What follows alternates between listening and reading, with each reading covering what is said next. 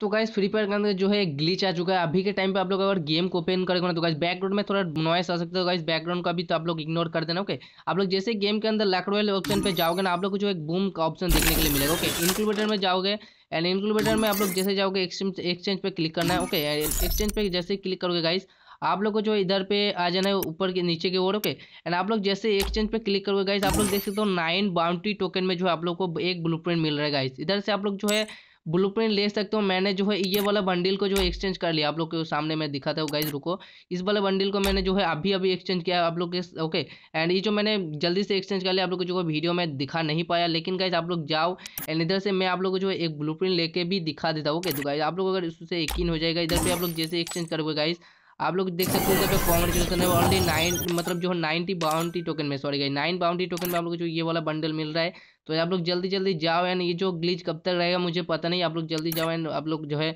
इस वाला बंडल को जो है निकाल लोगे एंड आप लोग जल्दी जाओ फटाम से ओके तो गाइज़ वीडियो कैसा लगा? ऑब्वियसली कौन होता है वीडियो अच्छा तो guys like and comment and share कर देना ओके मिलते हैं नेक्स्ट वीडियो में, आज के लिए इतना ही।